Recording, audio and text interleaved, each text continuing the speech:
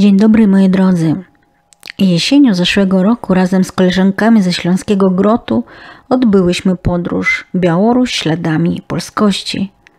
Kolejnym pogrodnie miejscem naszej wycieczki był Nowogródek, o którym w dzisiejszym odcinku opowie Marzenka i Danusia. Serdecznie zapraszam. Z żalem opuszczamy Grodno, ale obiecujemy sobie solennie, że tu jeszcze powrócimy. Przed nami kolejne ważne dla nas Polaków miasto Nowogródek. Wsiadamy do autobusu i w drogę.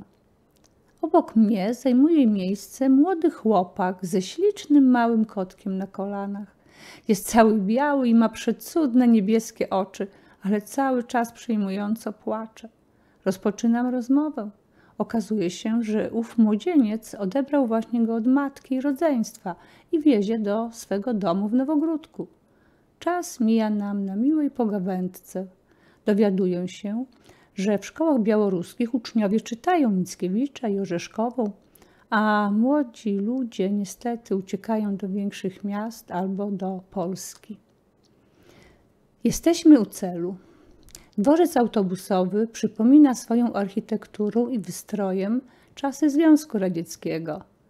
Ale nie da się nie zauważyć, że jesteśmy w mieście, którego historia nieodłącznie związana jest z Adamem Mickiewiczem. Przypominają o tym malowidła na zewnętrznych ścianach dworca, pomnik wieszcza oraz stare fotografie pokazujące historię miasta, zabytki, muzeum poety. Kierujemy się w kierunku centrum, gdzie mamy wynajęte mieszkanie. Nasze pierwsze wrażenia, odczucia są bardzo mieszane. Rzucają się nam w oczy przede wszystkim nieciekawe bloki z epoki socjalistycznej z pstrokatymi balkonami, ale mijamy też przedwojenne kamieniczki i urocze drewniane domki z ganeczkami. Dzień przywitał nas chłodem, wiatrem i deszczem. Nie napawało to otuchą, gdyż mieszkanie przygotowane w Nowogródku otwierało nam swe podwoje dopiero od godziny 14.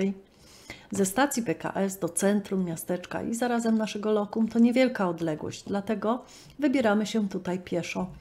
Pierwszą miłą niespodzianką, która stanęła nam na drodze, to pomnik Włodzimierza Wysockiego. Jego pieśni będą śpiewane przez kolejne pokolenia, bo są świadectwem umiłowania wolności. Na Nowogródczyźnie spędził on kilka tygodni podczas nagrywania filmu Wiktora Turowa Synowie idą w bój, do którego napisał trzy utwory muzyczne. To miłe, że tak małe miasteczko jak Nowogródek uczciło pomnikiem wielkiego barda. Warto nadmienić, że pochodził z rodziny polskich Żydów. Pamiątkowa fotka i ruszamy w dalszą drogę. W Nowogródku wszystkie drogi prowadzą do rynku. Szukamy miejsca, aby spocząć, wypić coś gorącego i zwyczajnie posilić się po podróży. Mijamy pałac ślubów, a po drugiej stronie ulicy, naprzeciw pałacu, podziwiamy ogromną tablicę z portretami zasłużonych obywateli tego miasta. Nieopodal, tuż przed słynnym muralem z mapą Nowogródka, zatrzymujemy się w skromnej restauracji na posiłek. Przepu są tam serwowane przepyszne racuchy serowe na ciepło i słodko. To był taki wspaniały początek dnia. Potem już tylko zakwaterować się i uwolnić od bagaży. Wynajęte przez nas mieszkanie, podobnie jak poprzednio, to również niewielki koszt, bo raptem tylko 70 rubli za dobę. W tej cenie mamy do dyspozycji tylko jeden pokój, kuchnię i łazienkę. Ponieważ pogoda jest niepewna, postanawiamy od razu zrealizować kolejne punkty naszej eskapady. Bierzemy taksówkę i wyruszamy nad legendarne jezioro Świteś. Adam Mickiewicz urodził się we wsi Zaosie w pobliżu Świtezi. Często tam bywał, zachwycając się jej pięknem, poświęcając jej aż trzy ballady: Świtezianka, Rybka i Świteś, którą rozpoczął słowami. Ktokolwiek będziesz w nowogródzkiej stronie, do półżyn ciemnego boru wjechawszy, pomnij zatrzymać twe konie, byś się przypatrzył jezioru. I tak też uczyniłyśmy. Szkoda tylko, że romantyczna przejażdżka końmi musiała być zastąpiona zwykłą taksówką. Znajdujemy się w świteziańskim rezerwacie krajobrazowym. Zatrzymujemy się w przydrożnym lesie. Przez wiekowe drzewa prześwituje jasna tafla wody. Jezioro ma kształt koła. Od razu rzucają się nam w oczy wielkie głazy z napisem Świteś, ale tylko w języku białoruskim. Zniknęła, obecna od zawsze, pierwsza zwrotka ballady Świtezianka. Jakiż to chłopiec piękny i młody, jakaż tu obok dziewica, brzegami sinej świtezi wody idą przy świetle księżyca. Zastąpiono ją napisem O nowogródzki kraju, domu mój rodzinny, sławiony Trębeckiego piórem, dokąd nie rzuci mnie mój los życiowy, zapomnieć ja nie będę mógł Twe pola i dąbrowy. Mamy niewiele czasu. Staramy się chłonąć piękno krajobrazu całą duszą. Utrwalamy te ulotne chwile na fotografii. Niebo jest jeszcze w miarę pogodne, zasnute tylko lekko szarawymi chmurami. Idziemy na pomost. Porywy wiatru stają się coraz silniejsze, niebo ciemnieje, fale jeziora mocniej nacierają na brzeg. Na drewnianym moście coraz niebezpieczniej. Uciekamy stamtąd. Nagle wśród drzew rozlega się dziwny, przeraźliwy łoskot. To nie piorun. Wielkie drzewo łamie się i całym swym ciężarem wali się na ziemię. Stoimy na brzegu. Pomału wraca cisza i spokój. I nieoczekiwanie, jak jeden mąż, dzielimy się swoimi odczuciami. Jesteśmy przekonane, że wzburzone fale świtezi chciały nam przekazać coś ważnego. Mamy wrażenie, jakby prosiły o wzajemne pojednanie się ludzi, o miłość i przyjaźń. Czuję, że ma to związek z legendą opisaną przez Mickiewicza w balladzie Świteś. W nocy słychać nad jeziorem kobiece krzyki i odgłosy wojny, a nad wodami unosi się ogień i dym. Pan wsi Płużyny postanawia zbadać tajemnice świtezi i przy pomocy specjalnych konstrukcji dotrzeć do dna jeziora. Wyłowiono młodą kobietę, która okazała się córką Tuchana, legendarnego władcy świtezi. Opowiada ona historię jeziora. Było tu kiedyś miasteczko Świteś. Gdy car Rosji najechał Litwę, Tuchan wyrusza z pomocą władcy państwa Mendogowi.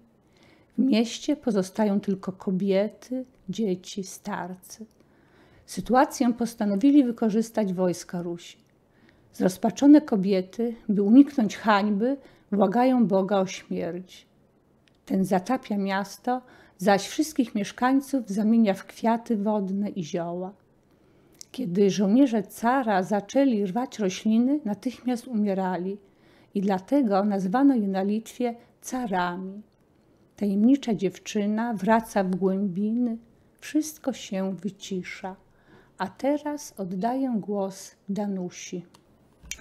Być może z tego powodu, a może z powodu coraz bardziej zrywającego się wiatru i pochmurnej pogody, zrobiło nam się nagle bardzo smutno. Wiatr pomarszczył całe jezioro. Wycie i szum fal zagłuszał każde nasze słowo.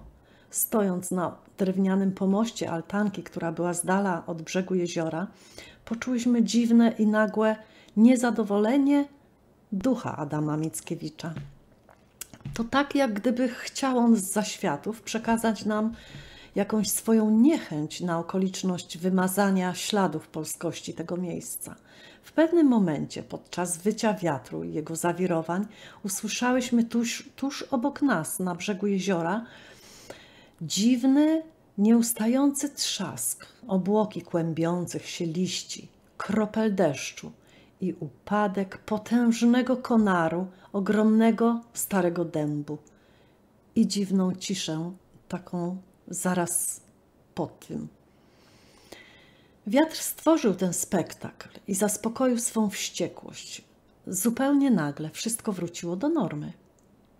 Aż wydawało się, że za chwilę wzejdzie słońce. We mnie jednak zrodziło to smutek i zatroskanie. Żal mi było tego drzewa. Pomimo niebezpieczeństwa, przełamałam strach i podeszłam w pobliże tego nieszczęśnika. Dotknęłam leżących konarów, mchu, jakim były pokryte liści, żołędzi. Popatrzyłam w górę, gdzie drzewo świeciło potężną, białą raną i ten dziwny zapach wokół. Nie wiedząc, jak oddać szacunek temu miejscu, zabrałam liście i owoce tego nieszczęsnego i okaleczonego drzewa.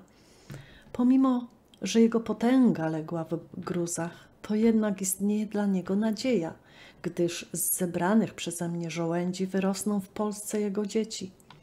Z tym przesłaniem, a zarazem pocieszeniem opuszczałam to miejsce. Na zawsze już zapamiętam tylko taką scenerię tego jeziora. Zadumane wpatrujemy się w taflę jeziora, już spokojną. To były naprawdę mistyczne przeżycia.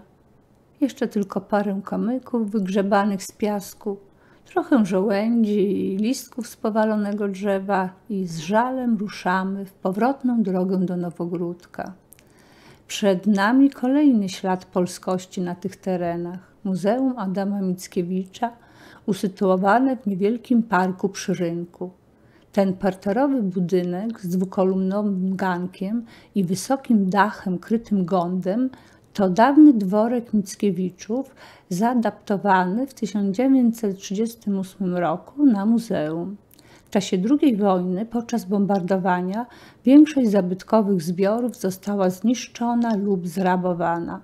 Muzeum odbudowano i otwarto w setną rocznicę śmierci poety w 1955 roku. Wstępując w obręb parku i alejek prowadzących do muzeum, nie sposób ominąć rzeźb, które tutaj rozlokowano. Jedna z pierwszych to postać kobiety leżącej na skale. Ma symbolizować śmierć Grażyny z poematu o tym samym tytule. Idąc dalej, mijamy pomnik otwartą w kształcie otwartej księgi, którą odsłonięto podczas obchodów 225. rocznicy urodzin Adama Mickiewicza. Na jednej stronie tej kompozycji widnieje jego portret, a na drugiej cytat. O nowogródzka ziemio, kraju mój rodzimy. Tuż obok stoi dąb, który posadzono z okazji 200. rocznicy urodzin poety, czyli aż 25 lat temu. Dziś, dziś, jest pochmurno i deszczowo, więc zacisze i ciepło wnętrza muzeum to dodatkowe atuty. Tym bardziej jest nam miło i przyjemnie.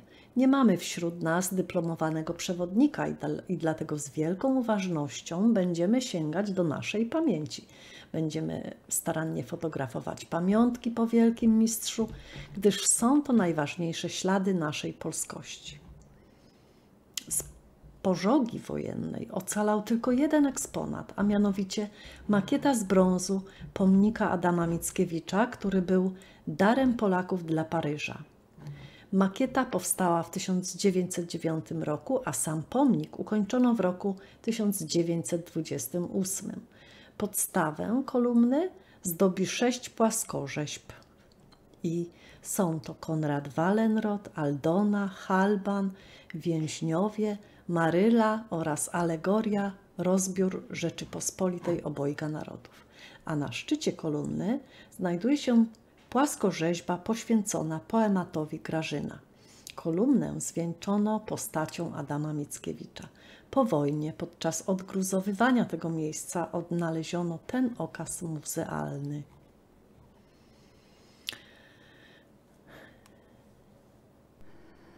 Rzekomo wśród eksponatów są tylko oryginalne okulary podarowane poecie przez rosyjskich przyjaciół oraz francuski zegar, który miał się znajdować w jego wileńskim pokoju.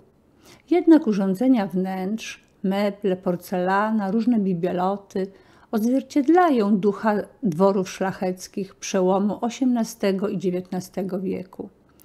Niestety tutaj również brak napisów w języku polskim. Ściany zdobią liczne obrazy, m.in. Wilna, Kowna, Moskwy, Odessy, Krymu, zdjęcia, portrety profesorów Uniwersytetu Wileńskiego, ryciny dworków szlacheckich, stare mapy, np. rozbiorów Polski, kopia metryki chrztu poety, świadectwa szkolne, kaligrafia poety, w gablotach XIX-wieczne wydania książek. Uwagę przyciągają jedne z pierwszych wydań dzieł Mickiewicza w takich miejscach jak Paryż, Poznań, Lwów, Petersburg, Moskwa. A tutaj mała ciekawostka. Aleksander Puszkin podziwiał talent Mickiewicza i jak wiemy łączyła ich przyjaźń. Dzięki współpracy z Muzeum Puszkina w Moskwie w Nowogródzkim Muzeum pojawiły się kopie rękopisów rosyjskiego poety, gdzie na marginesach szkicował portrety Mickiewicza. Zaskoczyła nas treść jednej niepozornej kartki w języku rosyjskim. Był to rozkaz Komitetu Rewolucyjnego Nowogródka z roku 1920. Ogólny sens brzmi tak. W mieście Nowogródek przez pewien czas żył znany na całym świecie polski poeta Adam Mickiewicz. Pozostał po nim dom z biblioteką. Władza sowiecka jest nosicielem kultury i pragnie go strzec i dlatego postanawia, aby w tym miejscu powstało muzeum. W związku z tym wszyscy lokatorzy zostają wyeksmitowani do nowo przydzielonych im mieszkań. Na szczęście po zwycięstwie w Bitwie Warszawskiej 1 października 1920 roku pułki legionów polskich odzyskały miasto. Nowogródek został stolicą województwa, będąc najmniejszym miastem wojewódzkim II Rzeczypospolitej. W, w Muzeum przy ulicy Lenina 1 wśród eksponatów znajdują się rzeczy osobiste poety fortepian, zegar, obrazy, meble, a wśród nich kopia paryskiego stolika i fotela, na których pisał księ, księ, pana Tadeusza. Jest też unikatowy zbiór wydań pana Tadeusza, tłumaczonych na różne języki świata oraz zbiory jego wykładów literackich.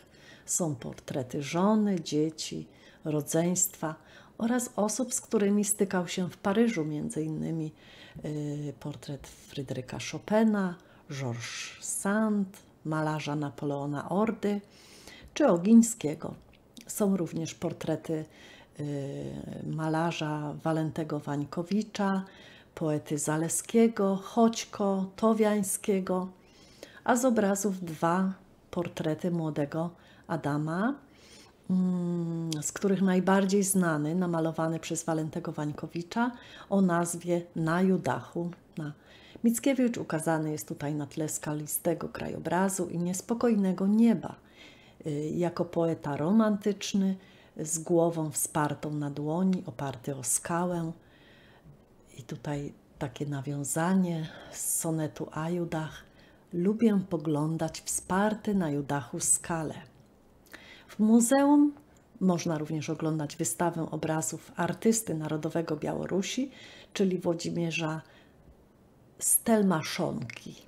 Nosi ona nazwę 17 mus w życiu Adama Mickiewicza. Obrazy te poświęcone są muzom poety, które odegrały kluczową rolę w jego życiu i twórczości, a każdy z tych obrazów zawiera cytaty z dzieł pisarza skierowane do danej, do danej kobiety. Natomiast e, w najniższej kondygnacji, można by rzec w piwnicach, umieszczono dwie rzeźby. Jedna z nich to przepiękne popiersie wieszcza z czasów jego młodości, a druga to naturalnej wielkości jego postać, przy której stajemy, aby choć przez jedną chwilę poczuć splendor mistrza. Tuż za progiem, w innych y, pomieszczeniach, znajduje się pokaźna sala, gdzie odbywają się spotkania światłych ludzi propagujące literaturę związaną z mistrzem, czy też spotkania recytatorskie.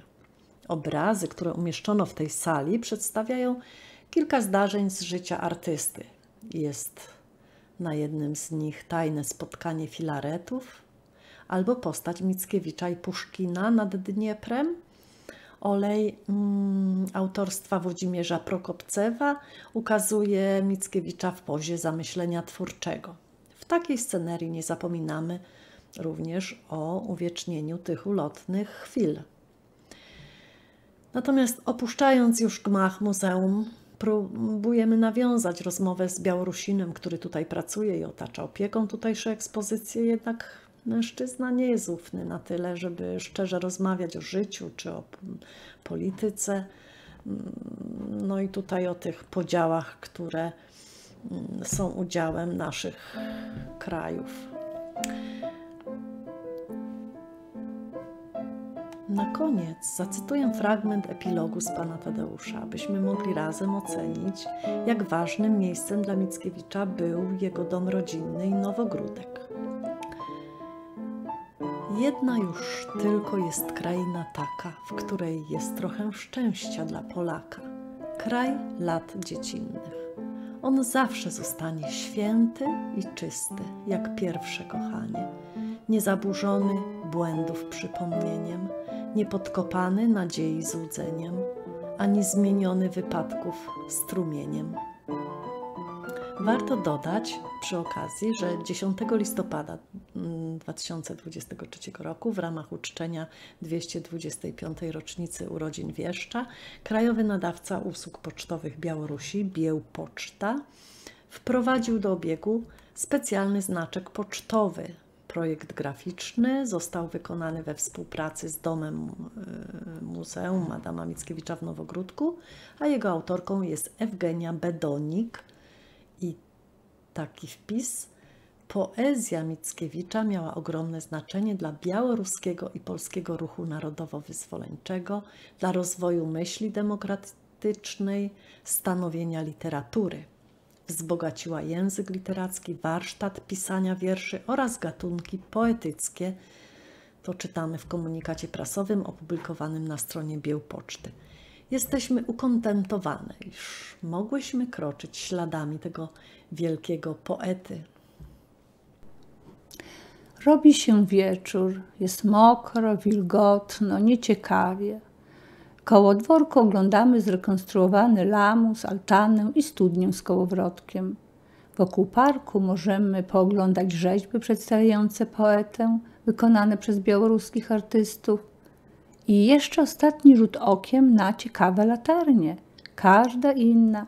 Jedna przypomina dżentelmena w muszce i we fraku, inna ma kształt kłosów zbóż i habru.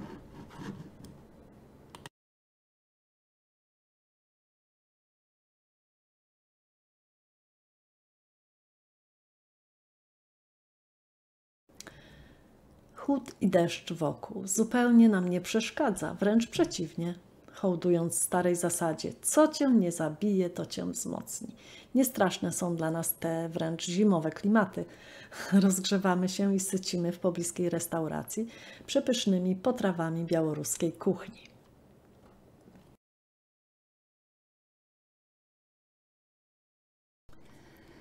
Gdy wychodzimy, jest już prawie ciemno namawiam moje współtowarzyszki do spaceru w kierunku zamku. I w tym miejscu muszę powrócić do naszej wcześniejszej rozmowy, ponieważ Danusia pała wielką miłością do malarstwa, sama maluje, zastanawiała się, czy w Nowogródku jest jakaś galeria. Skwitowałam to trochę ironicznie, że raczej mało to prawdopodobne, za małe miasteczko. Aż tu nagle, ku ogólnemu zaskoczeniu, przechodzimy koło pięknej willi z napisem galeria. Jesteśmy zaskoczone tym bardziej, że jacyś młodzi ludzie, którzy nas spostrzegli, oznajmiają, że otworzą galerię specjalnie dla nas. Młody człowiek zaprasza nas do środka. Okazuje się być synem tutejszego artysty malarza Kastusa Kaczana. I co na to powiecie? Dla mnie rzecz niebywała. Przekraczając próg tej galerii, od razu wiem, że to będzie uczta dla mojego ducha. Cała przestrzeń wypełniona obrazami autorstwa tego nowogródzkiego artysty. Marzenka zasiada do pianina, będzie grać przepiękne melodie. Amira nagrywa wywiad z synem artysty Ignacym Kaczanem. To, z czego zwierza się jej do mikrofonu, najlepiej opowie Mira. Jest to bardzo ciekawa historia, związana nie tylko z, z tym domem, nie tylko z ojcem, jego twórczością, ale też o życiu. Ja oddalam się i z niedowierzaniem robię zdjęcia prac, gdyż tutaj wszystko jest dozwolone. Nagrywanie, robienie zdjęć czy gra na pianinie. Ten dom artysta sam wybudował, a otwarcie galerii miało miejsce w roku 2014. Są tutaj dwie sale wystawowe i pracownia malarza na piętrze, do której zaprasza nas syn artysty. Pierwszy raz oglądam takie miejsce. Pracownia mieści się tak jak wspomniałam, na ostatnim piętrze y, i są tutaj obrazy, szkice artysty. Okazuje się, że artysta malując w plenerze tworzy najpierw szkic mniejszych rozmiarów, a potem w pracowni maluje na odrębnym, dużym płótnie ten już właściwy obraz. Tematyką twórczości jest przede wszystkim życie białoruskich miasteczek na tle starożytnych pomników architektury. Krajobrazy i martwa natura w wykonaniu tego artysty urzekają. Na uwagę zasługuje także kolekcja szkła, a także starych mebli, przedmiotów codziennego użytku. W galerii można też nabyć pamiątkę w postaci kolekcji pocztówek z obrazami artysty oraz reprodukcję obrazów nawet trudno mi opisać, jak bardzo jestem szczęśliwa, że zawitałyśmy w progi tego domu. Urzekły mnie obrazy artysty. Tematem ich jest przede wszystkim przyroda o różnych porach roku, monumentalne zabytki i małe drewniane chaty wiejskie z zabudowaniami gospodarskimi oraz scenki rodzajowe ukazujące życie wsi i małych miasteczek. Ze wszystkich tych obrazów bije niesamowity spokój i swoista nostalgia za dawnym życiem, kiedy człowiek żył bliżej natury, w harmonii z następującymi po sobie porami roku. Jakże znękana dusza rwie się do takiego świata. Spędziłyśmy tam piękne chwile. Syn sławnego malarza okazał się człowiekiem bardzo rozmownym Opowiadał nie tylko o życiu i twórczości swego ojca, ale rozmawiał z nami także na tematy współczesne. Na Białorusi, tak jak u nas, istnieją duże podziały w rodzinie i społeczeństwie. Młody człowiek jest przeciwko wojnom wszelakim i rozumie, że są pewne siły w świecie, którym zależy, byśmy się nawzajem zabijali i nienawidzili. Ten dzień miał tak bogatą kolory, kolorystykę, tyle miejsc, tyle wrażeń, że aż nie dowierzam, czy to jawa, czy sen. Dziękuję.